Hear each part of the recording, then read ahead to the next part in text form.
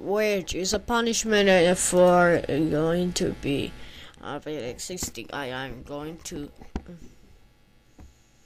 to uh, sending it to Mexico. My my logic. No, not enough. Lavion logic. Uh, what does that mean? Because he is stupid, I'm not his favorite motherfucker to show. I will put in your logic right now.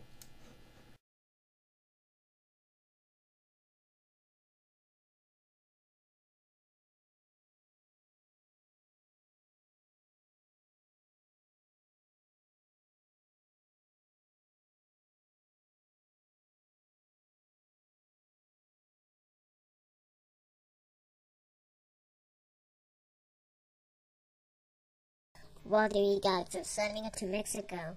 This is the worst day ever. Mm. I'm wishing to escape Mexico uh, tomorrow.